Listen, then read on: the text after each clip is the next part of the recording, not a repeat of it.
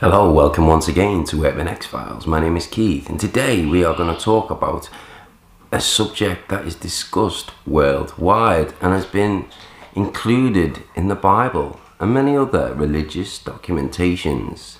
This is, of course, the story of vampires.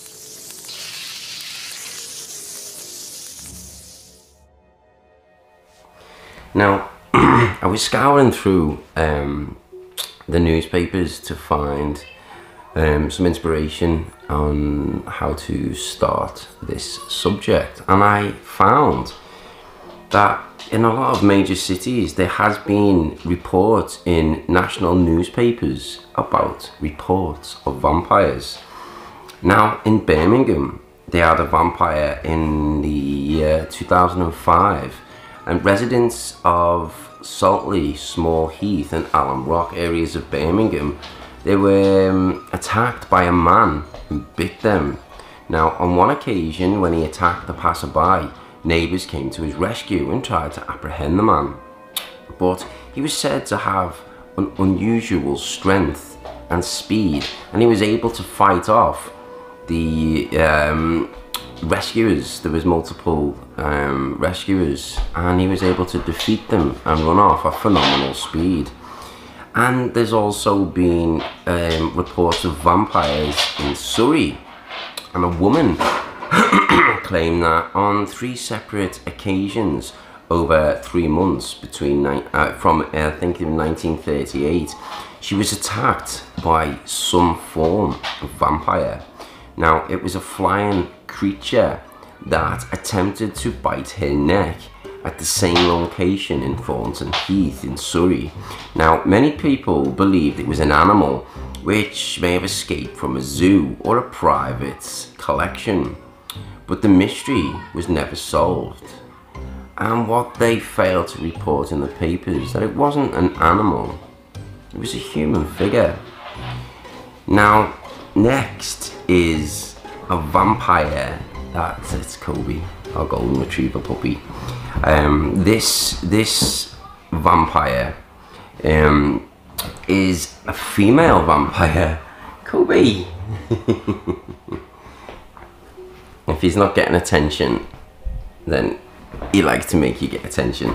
Anyway, yeah, the derelict Baron Hill Hall in Anglesey Wales has a bloody history of vampirism as well. Now legend has it that the ghost of a young girl, the youngest member of the ancestral Bulkeley family, still roams the grounds. And this is only of an evening, as common myth says, vampires don't walk around in a day, unless you're played. Um, speculation that she might be a vampire arose uh, because while the rest of the house lies in ruins, the tomb which her body was interred remains intact, locked and bolted. Strange. If this house is still there, derelict, then I think I might go and pay it an investigation. The next vampire document from newspapers is the Croglin vampire, and there are still tales of sighting of sightings of this historic monster in the Cumbrian village of Croglin, if that's pronounced right, I'm not sure. It's with a brown shriveled face and long bony fingers. It attacked young girls in the years after the English Civil War. The story goes as Miss Cranswell was forced to go to the ground and bitten on the neck by a horrifying figure um, that climbed into her bedroom through a window. Her two brothers gave chase with pistols, but it moved too fast. They dismissed it was a lunatic that had escaped from a nearby asylum. But when the creature returned and attacked again, one brother managed to fire a pistol and hit the leg, but it just escaped as easy again. Now the villagers banded together and went to the local graveyard where they found a vault with all coffins smashed but one. Inside was the mummified, shriveled corpse, with the leg badly damaged by a pistol ball. The next vampire sighting that was documented in newspapers is the Blandford vampire. Evil steward William Doggett stole thousands of pounds after his master moved abroad from Eastbury, Uh, from Eastbury House in Blandford, Dorset in the late 18th century. When his master returned, Doggett had shot himself, but that was not the end of him, because his blood-covered face was seen after dark as he stalked the village. When his body was exhumed in 1845, it was not decomposed and had a rosy tint to the cheeks. The Highgate Vampire. The famous statue of Karl Marx is scary enough, but in 1969, Highgate Cemetery in North London was the location for another vampire scare. Dead animals drained of blood began appearing in the undergrowth and witnesses reported that a tall, dark figure with hypnotic eyes, some even being attacked. It, it was said that a king vampire of the undead had been buried there after being brought over from Romania in a coffin and modern Satanists have brought it back to life. It all went a bit vampire crazy with amateur hunters digging up a number of graves until the sightings died out. Now, another one is in Glasgow, when a group of local schoolboys claimed to have seen a vampire with iron-looking teeth. It had strangled and devoured two small boys despite there being no record of any missing children in the area. It led to hundreds of school children vampire hunting in the city's graveyards, causing a nightmare for police, if no one else. The incident was put down to a popularity of the American comic series, which contains stories about vampires. The next is the Berwick Vampire, the Northumbrian town of Berwick upon Tweed is home to one of the earliest accounts of British vampire. During the mid-12th century, writer William of Newburgh had said that a great rogue, having been buried after his death, sallied forth by contrivance, as it is believed, of Satan, out of his grave by night, and was born hither and thither, pursued by a pack of dogs with loud barkings, thus striking great terror into the neighbours and returning to his tomb before the sunlight. The locals eventually found his resting place and set his corpse alight. The next documentation of vampires in national newspapers is the Alnwick Vampire. It's known as the home of the Duke of Northumberland but in previous years it was also known as the home of one of the most terrifying vampire in the country. This particular bloodsucker had a hunched back and in the Middle Ages he would stalk the grounds of the castle spreading terror and disease. The local peasantry apparently grew tired of his nightly raids and they rounded on him with pitchforks and torches and reduced him to ash. The Animal Vampire in 1941 after hearing stories from local uh, locals of animals being found drained of all blood. Ghost hunter Tom Robertson and his wife went to Lochmaben Castle near Lockerbie in search of evidence of the cause. Walking into the woods around the castle, leaving his wife in the car, he swiftly encountered the bodies of the small animals. He also met a tall figure dressed in sacking with a hood over its head. The creature leapt into a tree and swung away, realizing he had left his wife alone. He raced back to her and he afterwards said, There is a creature slinking around in these woods, baying for blood. These are just a few stories of vampire encountered encounters that have been documented in national newspapers. But the other side of it is the stories that have not been documented in national newspapers, which I, I, I, strongly believe that these are reports that wouldn't have been taken seriously.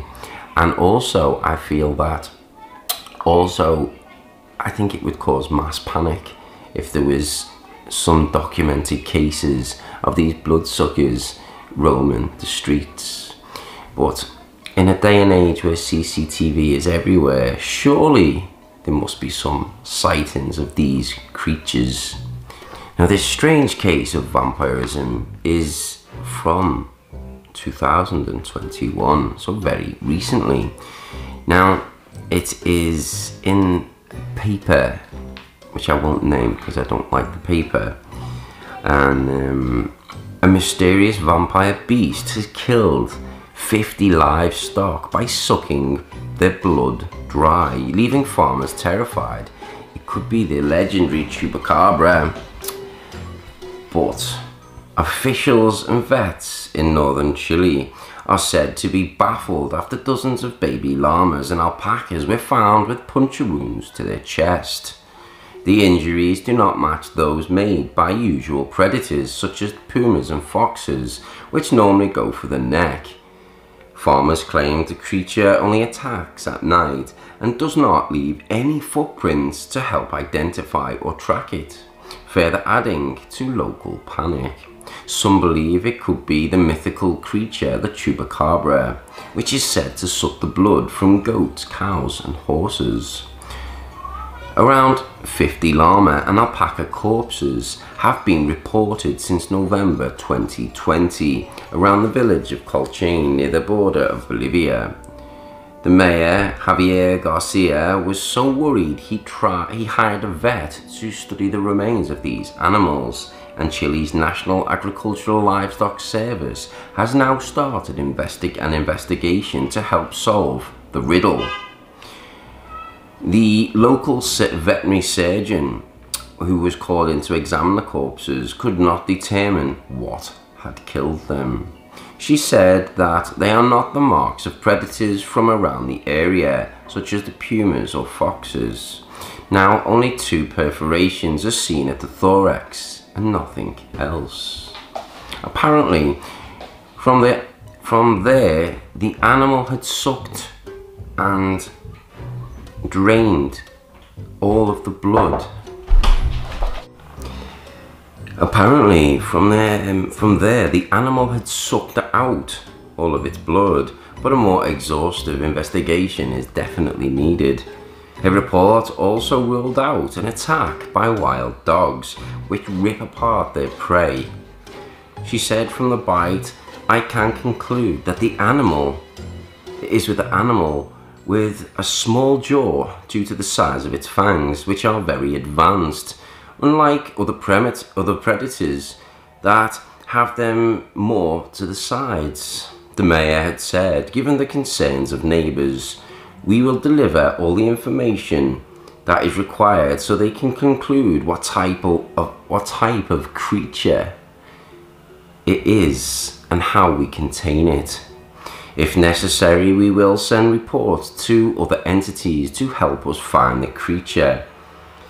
It doesn't eat its meat or its entrails, and I have never seen anything like it before, which is a farmer, Luis Choki. Said when the when when the first animals were killed, some feared a twisted local man was doing it to seek some form of damage to his uh, neighbors, and the farmer Juan Choki had said at first, when two or three deaths appeared, we thought it was just someone. But when more began to appear, we said no one could have such evil, and the deaths went on and on.